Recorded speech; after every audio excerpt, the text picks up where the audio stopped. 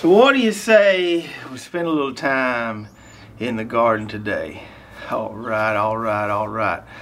It's finally dried up a little bit, warmed up a little bit here, and I've got to get my onions, my elephant garlic, and my leeks fertilized before we get some more rain. So that's what we're going to be doing today.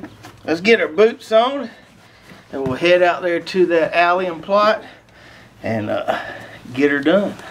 So we've got our allium plot right here behind me, a 30 by 35 plot where we've got eight different rows of short day onions. We've got two rows of elephant garlic and we've got one double row of Tadorna leeks.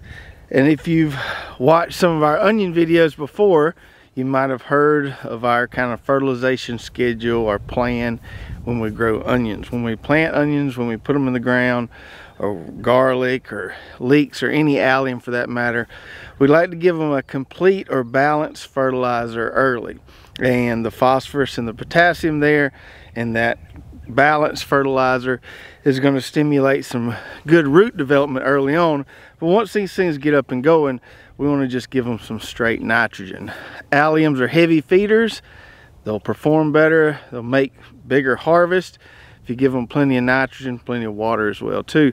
So now we're at the point where we just want to give them some nitrogen. We gave them some of that complete or balanced fertilizer earlier. We injected some 20-20-20 with our little Hoss fertilizer injector through the drip tape, fed those guys well early. You could also do that organically with our granular complete organic fertilizer if you want to be strictly organic about it. So you can do it either way just give yourself a little more time if you're using the organic fertilizer because it does take a little more time to break down and actually be usable by the plant. Now, as far as when I switch over to the straight nitrogen, it's not like an exact time frame and I really would have liked to have done this about three or four weeks ago. But it's just been tricky with the weather around here. It'll rain a lot and then be cold and it just hasn't dried out well and it's just been tricky. But we got some a decent amount of rain uh, about three or four days ago and the last few days we've got close to 70 degrees in the afternoon. So everything's dried up a little bit. I've been in here with the wheel hoe kind of helped dry it out a little bit. And I've got a good window to go ahead and get some of this fertilizer uh, side dressed beside these onions here before some more rain comes in in the next few days. Now as we do this, especially with the onions, you'll notice some varying degrees of growth here and that's just because we didn't plant all these at the same time. This first row here, which is uh, much further along, was planted kind of late October.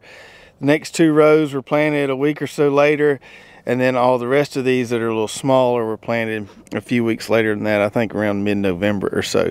So that's why you see kind of different stages here.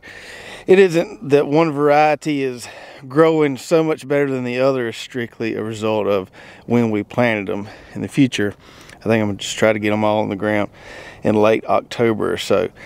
So we've got our onions there and we've got our elephant garlic over here two rows of those and then we've got our leeks. We transplanted these on a previous video and uh, they're coming along pretty good there as you can see. One thing I've been really diligent about this year is keeping the weeds down in my onions. I noticed last year and in previous years when I used to grow these things on double rows so imagine if I had another row of onions right here and the drip tape in the middle that over time it was harder to keep the weeds under control in between here. And I saw just some direct evidence that if you let the weeds get out of control here, you won't make near as big an onion. So keeping these things clean is really important. And I've been able to do that a lot easier with single rows than I was with the double rows. The only real weed issue I get in here is this stuff right here, this chickweed.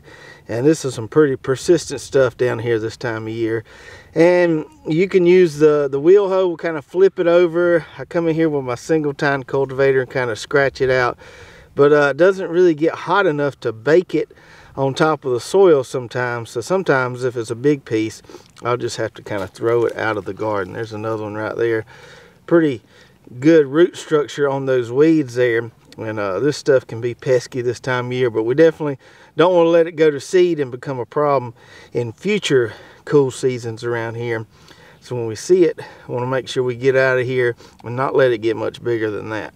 Now back to the fertilization principle here. So when do we switch over from the balance to the straight nitrogen fertilizer? And I like to do it when they're about this size or maybe even a little smaller.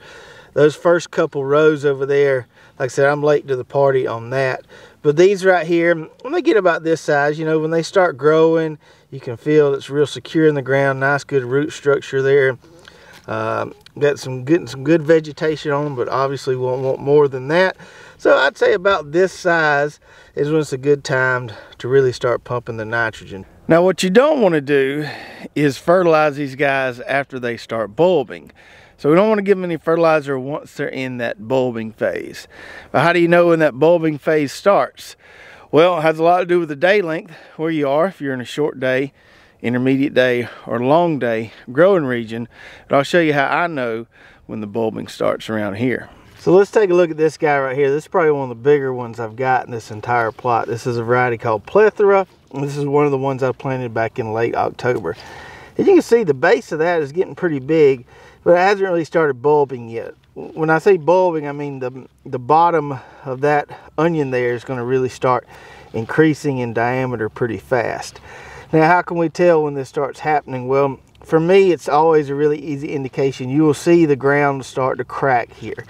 Now, if I look around here, I don't really see the ground start cracking or it hasn't started to crack yet. But when that happens, that's when we know that the bulbing phase has begun. So we'll see little cracks start to develop around here in the soil and that's when we don't want to fertilize them anymore. We want to cut off the fertilizer at that point. So we're not quite there yet. Might get there soon. We're going to hit them at least one time before they start bulbing here and uh, hopefully we will have timed it just right. So now let's talk about what we're going to use to really give the nitrogen to these guys. And we got a couple different options here depending on really if you're strictly organic or if that doesn't matter as much to you. So if you're organic, you probably want to use this stuff right here, our organic nitrogen, also known as Chilean nitrate. We use this a lot on corn, but you can use it on onions. It's a 1502 analysis on there. Works great. Go in side dress with some of this and give them onions the nitrogen they need. So that's your organic option. I'm going to be using this stuff right here today, this ammonium sulfate. And I like this because it's got sulfur in it. If you know anything about growing onions, they like a little extra sulfur. And if you want your onions to taste like onions, um, you got to give them some sulfur. That's where that kind of pungent onion flavor comes from, is from the sulfur there. I don't like my onions to taste just like a big ball of water. I want them to taste like an onion.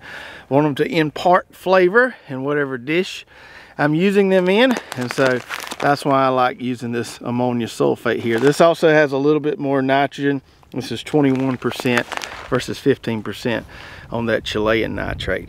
Now this stuff here is water soluble. You can put it in our fertilizer injector and inject it. I've done that before. Works great. Today we're just going to be side dressing with it because we know we got some rain coming in the next day or two and uh, should work out just right. So if we look at our directions here, it says side dress with one cup per 20 feet of linear row. My rows in this spot are 30 foot long, so I'll use one and a half cups per row. And it says apply every three to four weeks and water immediately after feeding. I'm not going to worry about the water part because we're supposed to get some rain in the next few days. So I won't worry about that there. If you're not getting rain soon, you do want to water it in there. And um, applying every three to four weeks on some of those larger onions that may start bulbing soon. We may only get one application of this in there. But for some of those smaller ones that were planted later, we might be able to get several applications in before they start bulbing. And when you're doing this, or when you're applying any kind of granular high nitrogen fertilizer like this, you want to make sure you don't get it on the foliage because it can burn the foliage. You especially want to make sure it doesn't get stuck down inside that plant there because it can burn the plant. So we're going to put it, you know, on the outside of the row here so we're not touching the foliage.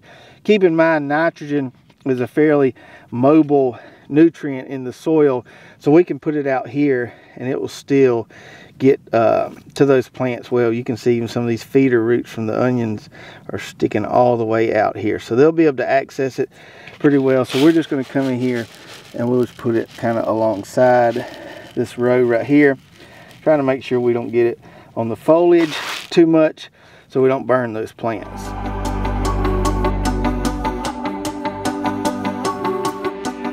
All right, all right, all right. That was quick and easy. Some of you might be wondering how many rows can you do with this 10 pound bag of ammonia sulfate here. I didn't quite use all of it.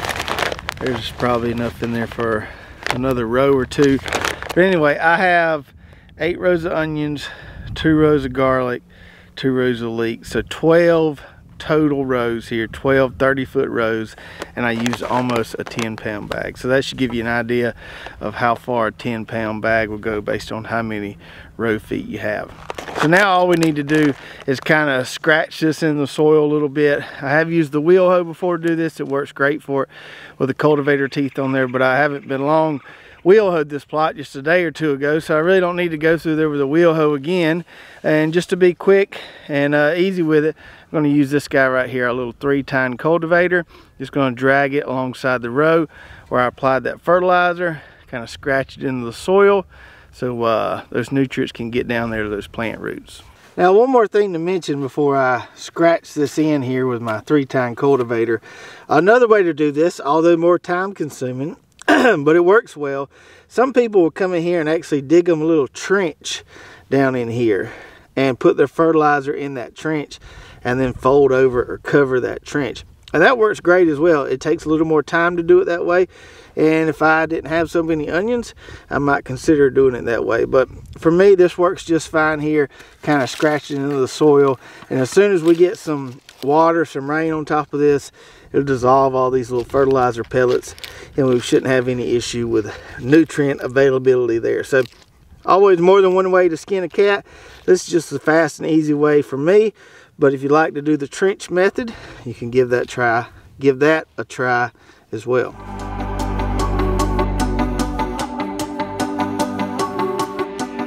And there we go. Better late than never, right? And I know a lot of you guys out there haven't even planted onions yet.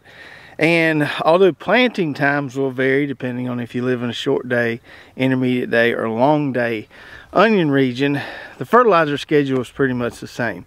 You want to give them that balanced fertilizer initially and then switch over to straight nitrogen right up until when that bulbing phase starts. One more thing about onion sweetness that a lot of people are confused about a lot of people think that certain varieties are sweeter than others. And that is the case if you take something like a yellow sweet onion or Granex onion and compare it to a white or red onion. The Granex or the yellow onion is always going to be sweeter than those two. But as far as yellow onions go, the sweetness is primarily determined by how much water you give it. So the more water that's in that bulb there, the sweeter it's going to be. The less water, the more sulfur that's in there, the more pungent it's going to be. We want our onions to be nice and big. We want them to have plenty of water in them, but we also want them to have that sulfur in there so we get that really good onion flavor. So if any of you out there have any more questions about growing or fertilizing onions, definitely put those in the comments below and we'll try to answer them for you. If you've got onions in the ground right now, definitely let me know how they're doing, kind of what stage you're in, what phase of uh, fertilization you're in, or maybe you've got some like mine that are looking like they're starting to bulb pretty soon. So let me know how your onions are doing and give me any onion questions you may have. I'll put a link below to our ammonium sulfate fertilizer so you can go grab you some of that for your onions, garlic, leeks, whatever alliums you're growing. If you enjoyed this video, give me a big thumbs up. Don't forget to hit that subscribe button if you haven't already. Ring that bell so you get notified every time we come out with a new video. And if you enjoyed this one, check out these other two onion videos right here. I think you'll really enjoy those as well. We'll see you next time.